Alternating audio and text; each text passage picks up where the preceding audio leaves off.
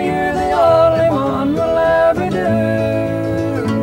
I want someone to hug and call me hungry. I want to be loved, but only by you.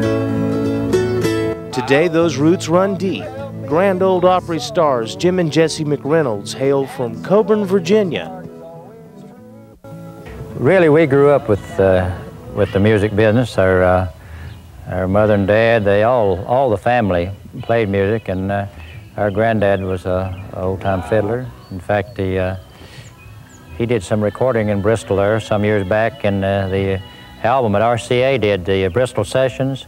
There's an old fiddle tune in there that uh, our granddad and our uncles, and they had a had a little band that they played back in the early days, back uh, I guess about the time the uh, Carter family was in their early days, and so we there was always music around our house and uh, old instruments that uh, we had a chance to uh, pick on a little bit and make a racket, and uh, but uh, we really just you know grew up with what we call mountain music. I can remember we used to uh, uh, roll, take the linoleum rug up, you know, and roll it up and put it back in the back room so they, if somebody wanted to buck dance a little bit in the living room, they wouldn't tear the rug up, you know.